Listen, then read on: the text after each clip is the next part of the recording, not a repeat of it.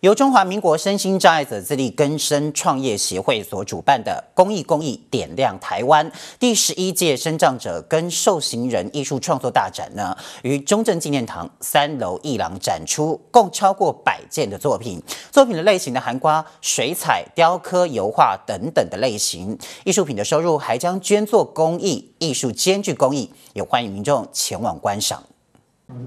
由中华民国身心障碍者自力更生创业协会主办的公益公益点亮台湾第十一届身障者与受刑人艺术创作大展于中正纪念堂登场。更生人也一起加入哈，我想其实都一样，艺术创作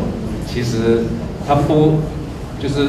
不管不管后面我们本身的身份是什么，职业是什么，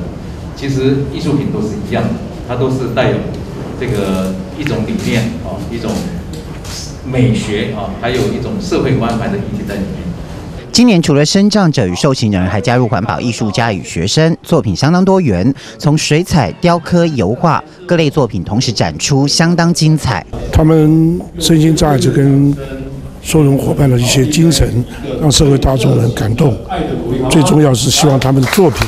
将来能卖得出去，有人收藏，那可以持续的往前面发展。这是我最重要的一个啊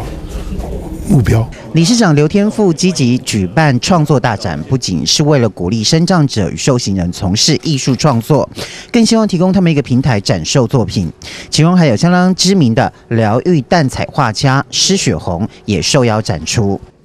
展出的话是受到刘天富理事长的大爱，呃，让我的心里觉得，呃，一定要再一次的出来帮助许多的人，然后每一个人心中的爱埋下来了，就可以散播出去。画家施雪红更将他这一次展出的二十幅画售出收入呢，全数捐作公益。其他作品的画家同样也会将作品收入部分捐作公益，